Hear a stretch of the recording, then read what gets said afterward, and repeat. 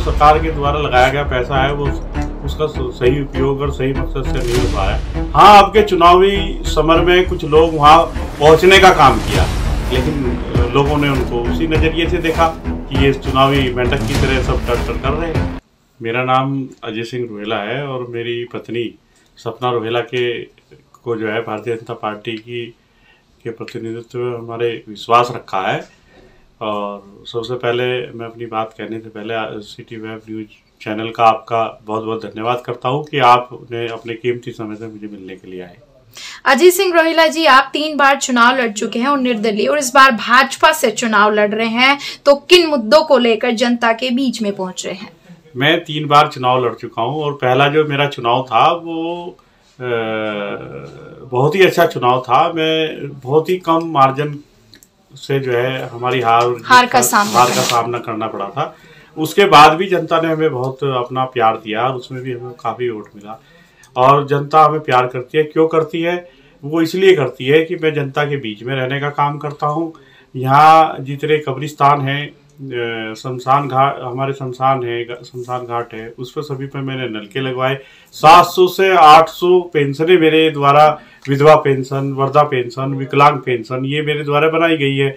और जो, अब भारतीय जनता पार्टी में जब से मैं काम कर रहा हूँ, यहाँ 800 से 900 मकान बनाए गए। उसमें जो है, यहाँ अस्सी, जो मुस्लिम बाहुल्य इलाका है, यहाँ ज़्यादातर मकान जो है उसमें मुस्लिम इलाके से ही हमने बनवाए हैं, सहयोग किया है बनवाने के लिए।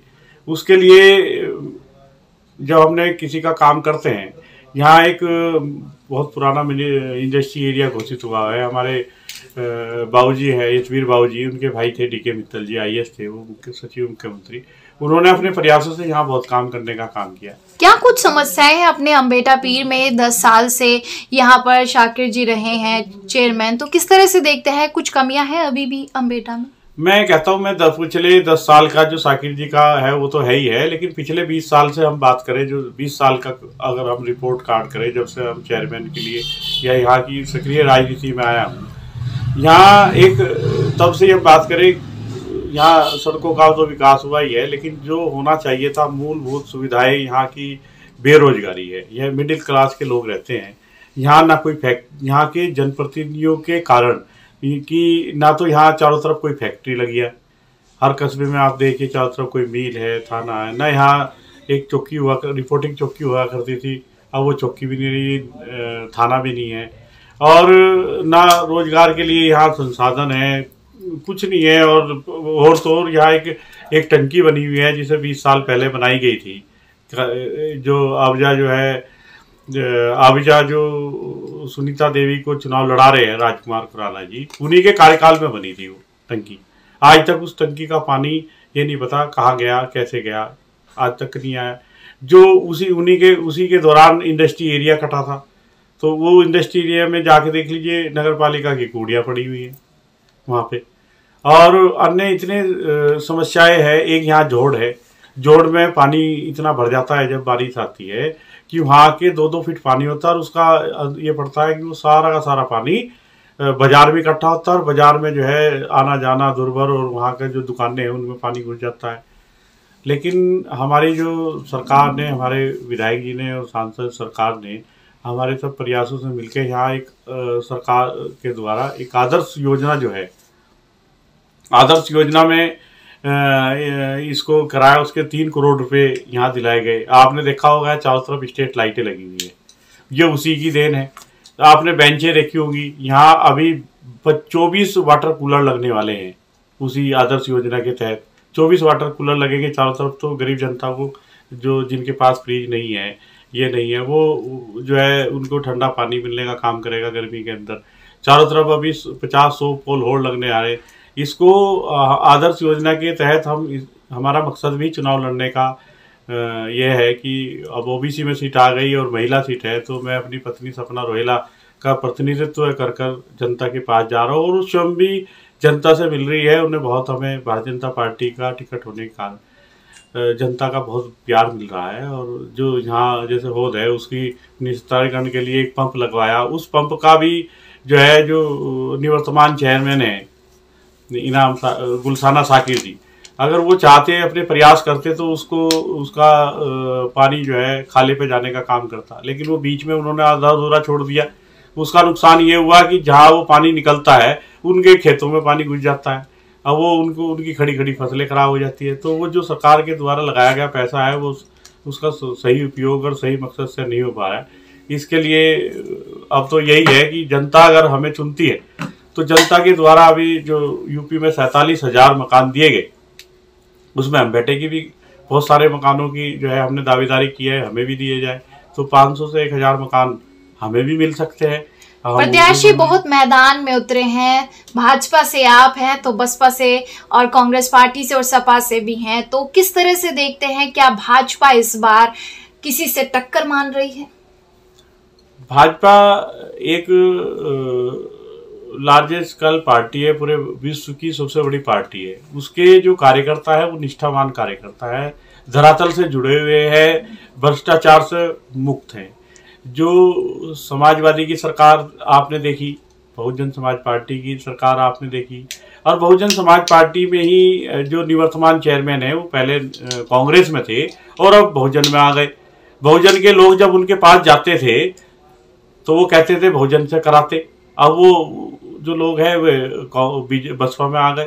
बसपा में आने के कारण उनका कोई तालमेल नहीं लग रहा और क्योंकि यहाँ लोकल चुनाव है फेसिंग पावर है, यहाँ क्रम क्रम प्रधान है। जो आदमी जैसा करेगा ऐसे ही वोटर उसकी साथ जुड़ेगा। मायावती बसपा से कहती है कि दलित और मुस्लिम का समीकरण है। वहीं सपा से अखिलेश यादव कहते हैं कि मुस्लिमों का साथ सपा के साथ है। तो भाजपा अपनी जीत का समीकरण किस तरह से देखती है? वो सब पार्टियाँ अपनी अपनी बात रखती है लेकिन भारतीय जनता पार्टी सबका साथ सबका विश्वास और सबके सबका विश्वास पे हम ज़ोर करते हैं। और ये तो सब है ही। अब जो लोकल जो चुनाव है, वो सबका साथ, सबका विकास और सबके विश्वास पे जब हम चुनाव लेकर हम उनके बीच में जाएँगे। मैं एक बात बताना चाहता हूँ यहाँ के जो लोकल जनप्रतिनिधि हैं। मैं 18 साल से ईद, ईदगाह पे जाने का काम करता हूँ। वहाँ 18 साल में किसी ने ईद कहीं पढ़ ली होगी, छोड़ दी होगी, लेकिन मैं 18 साल से उनके बीच में ही खड़ा हूँ। जो मेरी हैसियत है, मैं उनका स्वागत उसी से ही फूलों से पानी से और मिष्ठान से उनका स्वागत अभिनंदन करता हूँ। वहाँ कोई नहीं जनप्रतिनिधि वहाँ पहुँचने का काम करता। हाँ आपके चुनावी समर में कुछ लोग वहाँ पहुँचने का काम किया, लेकिन लोगों ने उनको उसी नज़रिए से देखा कि ये चुनावी मेंढक की तरह सब टर टर कर रहे हैं। लेकिन हम जो है उनके साथ हैं।